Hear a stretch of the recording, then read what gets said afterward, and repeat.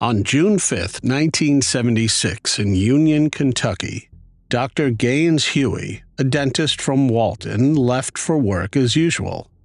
Driving down Chambers Road, something caught his eye a lifeless body of a teenage girl by the roadside next to a culvert.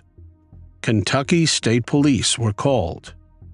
At around 7:15 a.m., Trooper Jan Wushner and his team from the Walton State Police Department reached the scene.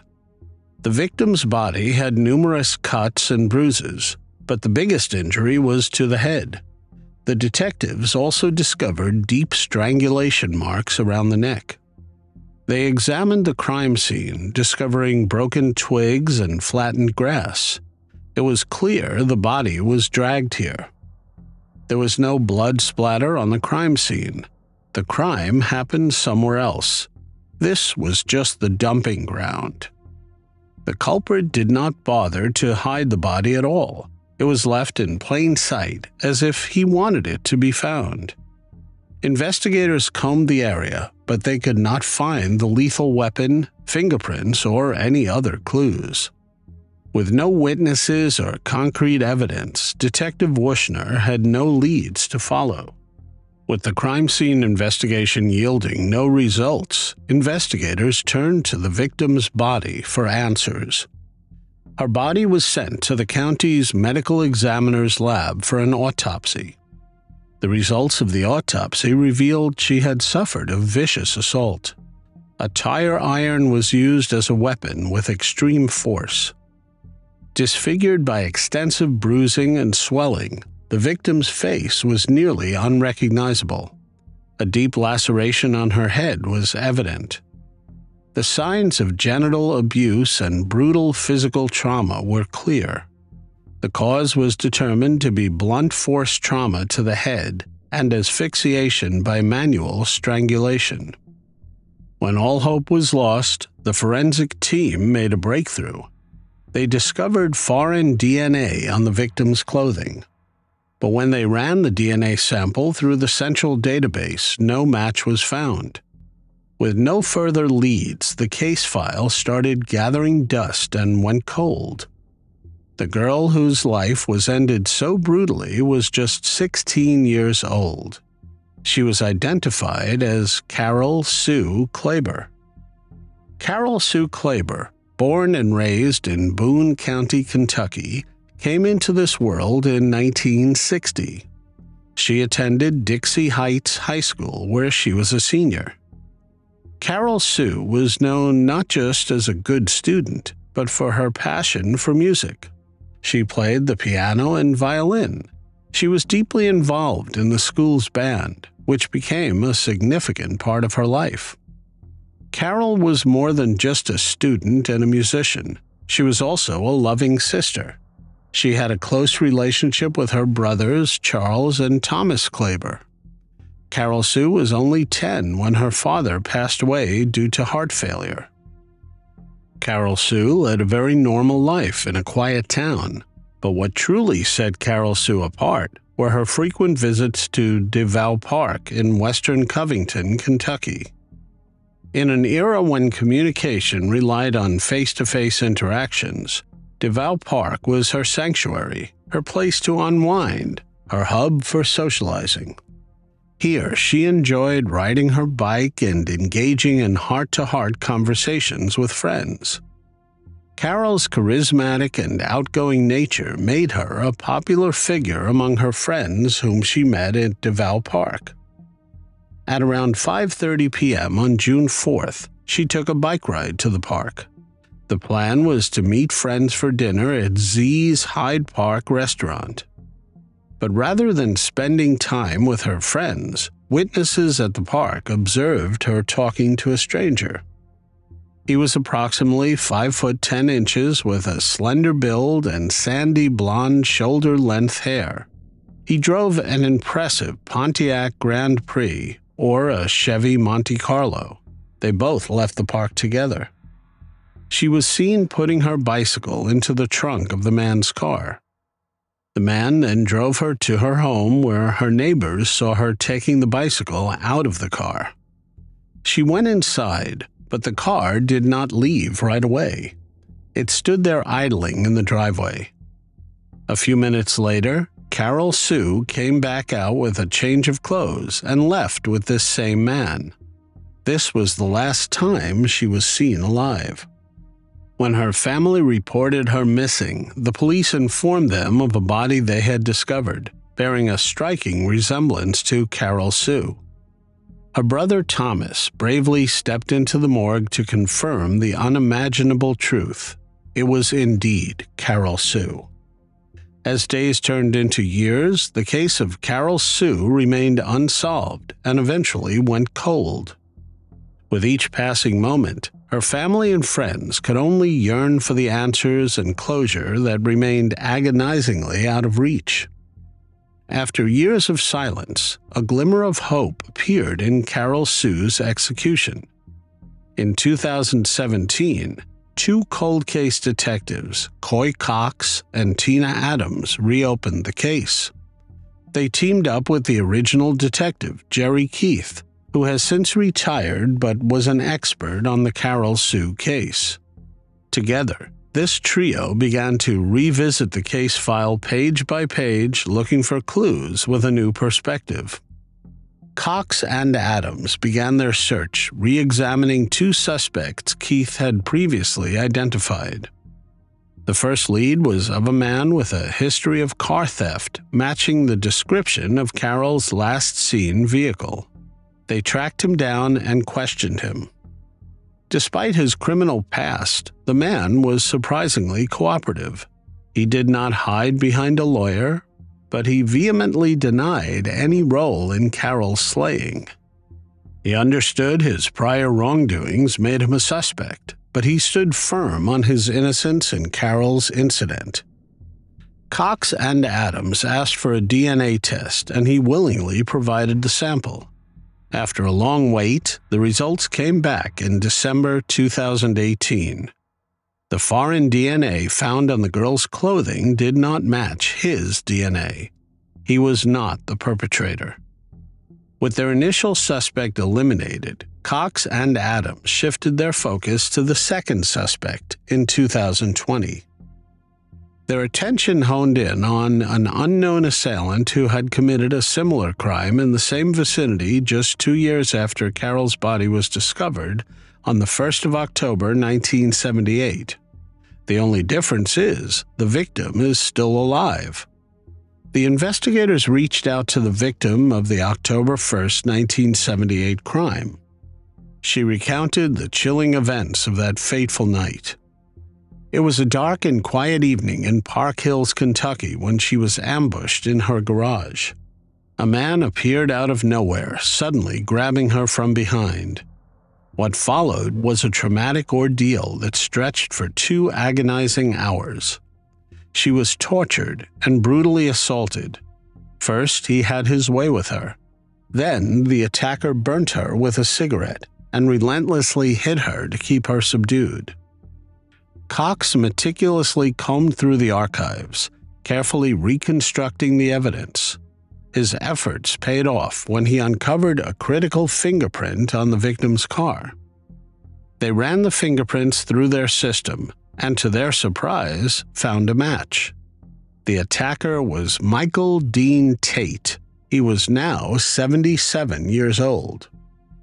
With this discovery, Michael Dean Tate was arrested for similarly assaulting a woman in 1978. Also, Cox and Adams were now breathing down his neck as a potential suspect in the Carol Sue case. Tate was a frequent traveler to Kentucky for work during the 70s and 80s. He had a questionable past, but he too adamantly refused any involvement in the slaying. Detectives were confident that they had finally found the man responsible, but their optimism fell to pieces as the DNA found on Carol did not match Tate's. Also, court records firmly placed Tate in Cincinnati in 1976, leaving the detectives once again at square one. This decades old mystery continued to slip through their grasp. In September 2022, Detectives Cox and Adams sought help from Othram Labs, a private company with a unique knack for solving the unsolvable.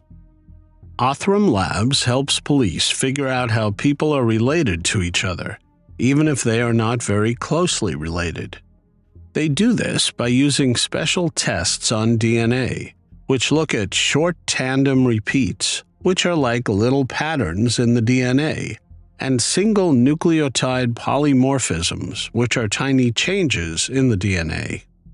Using their expertise, the police can determine who the assailant might be related to by using DNA. This task was given to Othram Labs in September 2022. After securing funding, it took less than two months. By November 2022, Othram Labs came back with the results. Through the DNA samples left by the perpetrator, a genetic link was identified. He is Thomas Dunaway. The catch was, Thomas Dunaway had already passed away in 1990. This means the police could not test his DNA for a direct match. But he had a child who grew up never knowing his father. This discovery would become the key to unlocking the mystery. Detectives traveled to meet Mr. Dunaway's biological son to collect DNA samples for comparison. When the DNA of Dunaway's son was compared with foreign DNA found 46 years ago on Carol Sue's clothing, the lab came out with an astonishing result. In December 2022, almost 46 years after the crime, justice would finally be served for Carol Sue Klaber and her family. The DNA results proved with 100% certainty that the man they were looking for was indeed Thomas W. Dunaway. Thomas W. Dunaway was 19 years old when he ended the life of Carol Sue.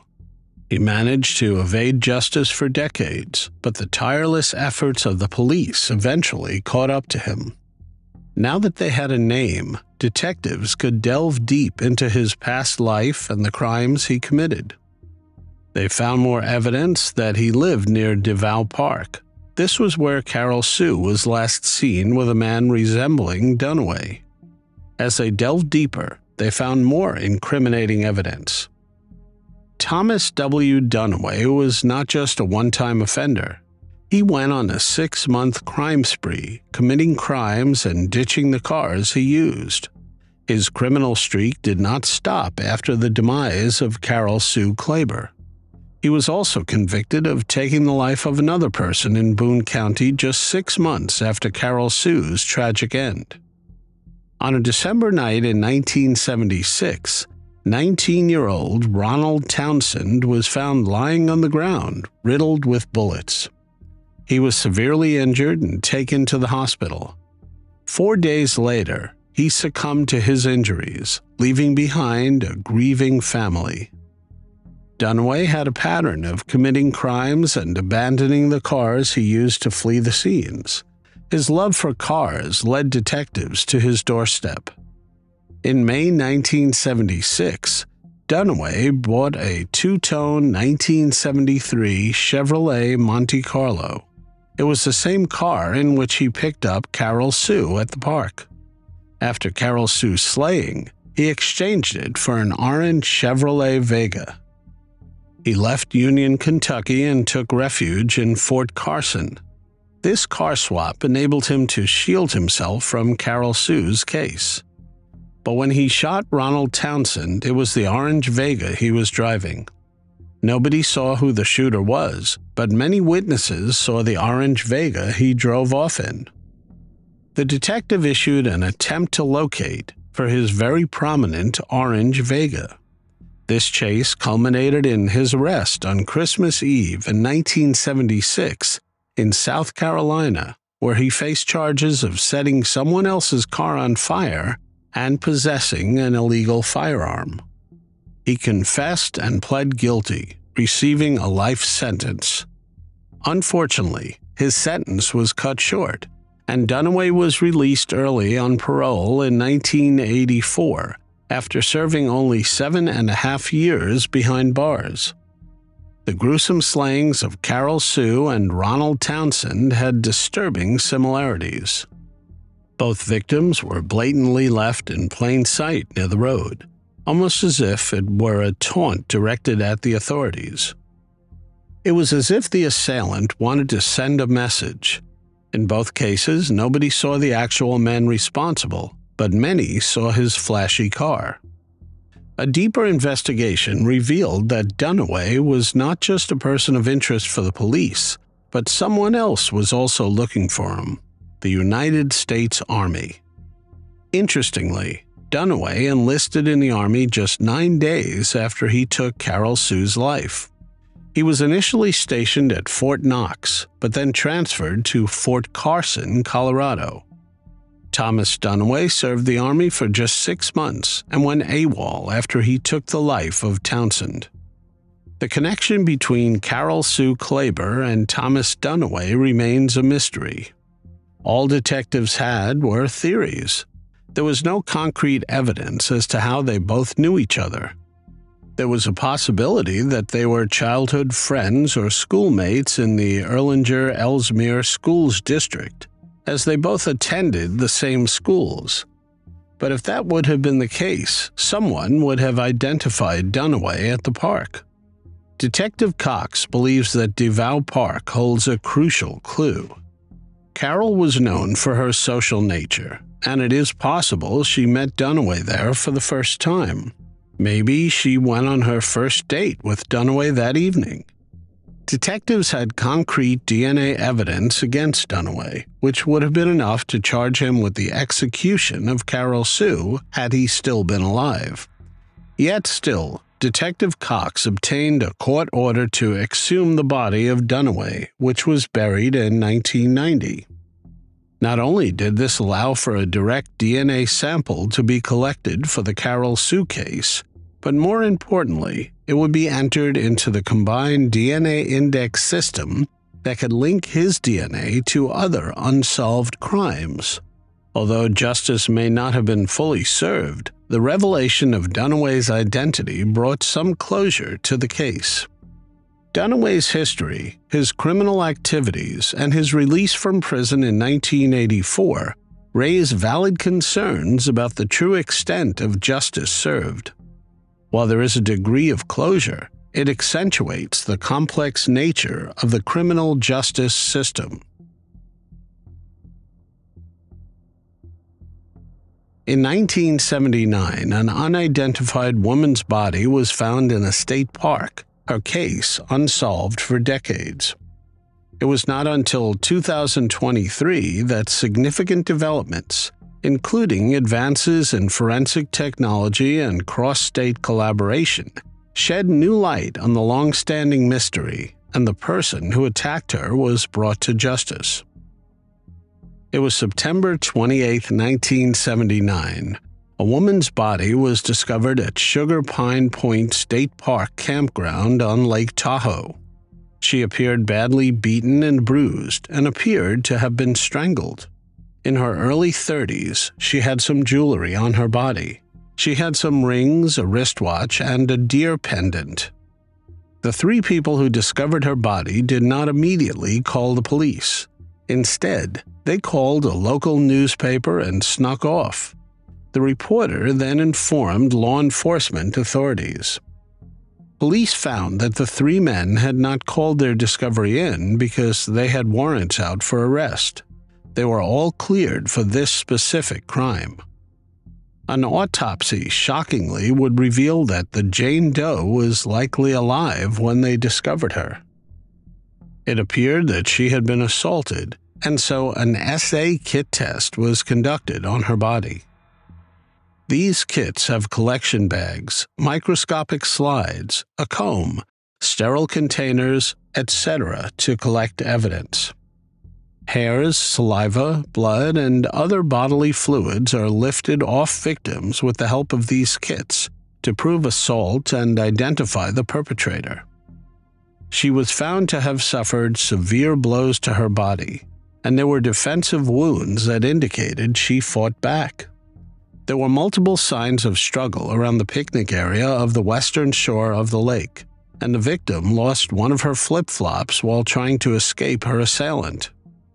Investigating officers recovered very little evidence, but unknowingly bagged one important item an empty beer bottle they found near the body. Back in 1979, forensic technology was not as advanced as it is today. The evidence was filed away, and the body was stored in the morgue for a long, long time. Nobody came forward to claim the unknown woman, and so it was decided to bury her in an anonymous grave in a potter's field located in El Dorado County. Lake Tahoe has always been a popular tourist destination and was so back then as well. The beaches and campsites always attract people from all over, and it was hard to trace this woman. She could be from anywhere. At the time, police did not recover a vehicle or any other belongings, so there was no way of knowing who she was and how she got there. Limited by technology, it was considered a cold case and was taken off priority. Years later, when DNA testing came out in 1986, the DNA lifted off the beer bottle and the victim were analyzed. It was clear the bottle belonged to the assailant, but there was no further progress until decades later. Almost 36 years later, investigating officer John Gaines took over this case in 2014. He reopened the Lake Tahoe Jane Doe's files. It was a part of the El Dorado County's Cold Case Unit, opening cases from the 1970s, 80s, and 90s. In the Lake Tahoe Jane Doe case, he exhumed the body. Accompanied by a forensic anthropologist from California State University, Chico, he printed photos of her jewelry to be released to the public in an attempt to identify her. The pictures were published in local newspapers without many leads. Gain noticed the necklace and realized the deer necklace was actually a chai pendant, which represents the Jewish symbol for life.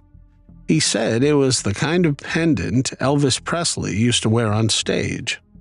With the chai pendant as a lead, Gaines tried his luck with the local Jewish community. Lake Tahoe's local rabbi, Rabbi Morty Rickler, who had opened a Chabad, was surprised to have officers contact him.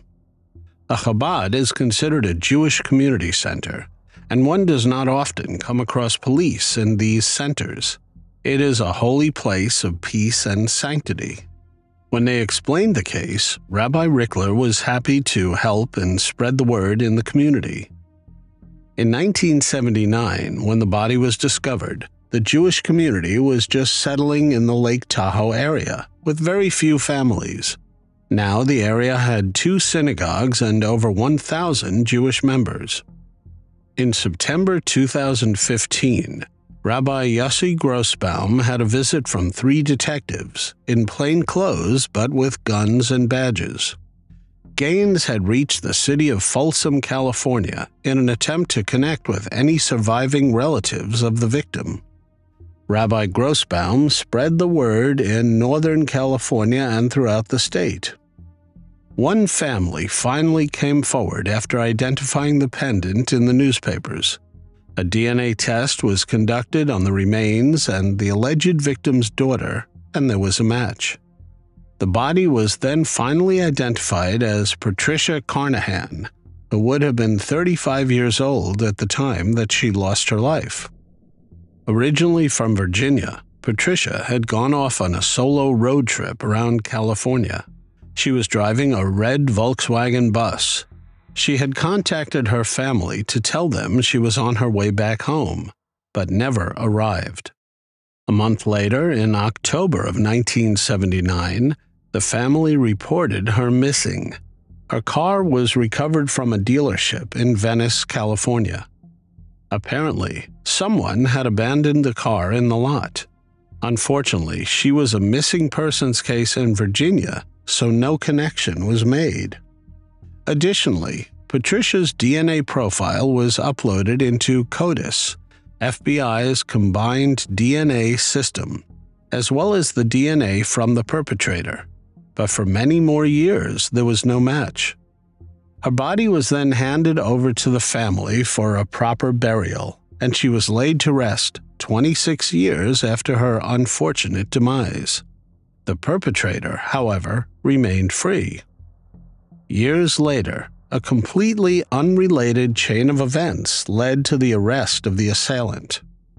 In 2023, the state of Washington provided funding to the Washington State SA Kit Initiative, a movement aimed at reopening abuse probe tests from the 70s onwards in an attempt to put the perpetrators behind bars.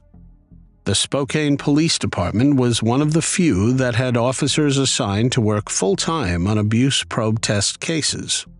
The SPD had over 1,500 kits, and among those, over 250 kits got matches on the combined DNA index system. This led to a huge breakthrough.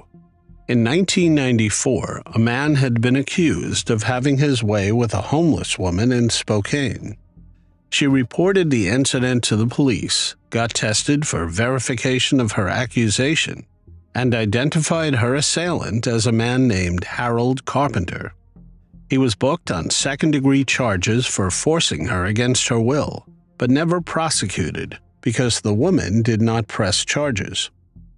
Harold Carpenter claimed that they had consensual relations and he did not defile her, so it was just his word against hers. The test kit had been filed away, but was now uploaded into CODIS. The woman who had logged the complaint had long since passed away. But the DNA on the system matched the DNA on the empty beer bottles and Patricia Carnahan's body.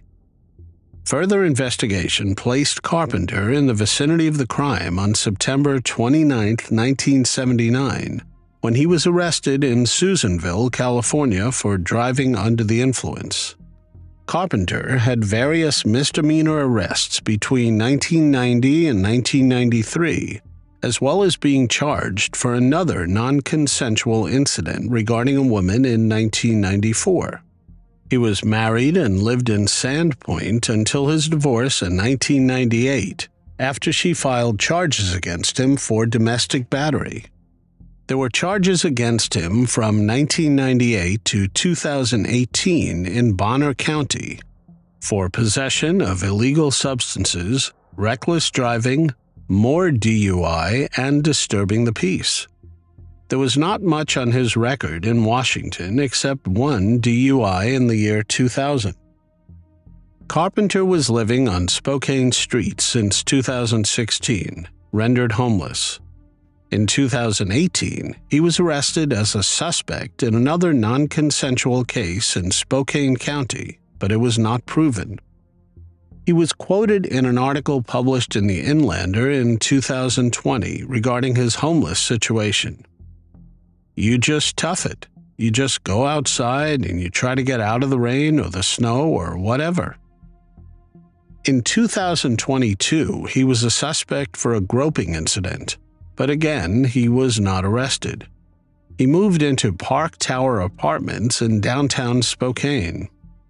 Investigators of El Dorado County now had probable cause to arrest him, and Spokane Police Department helped in locating Carpenter.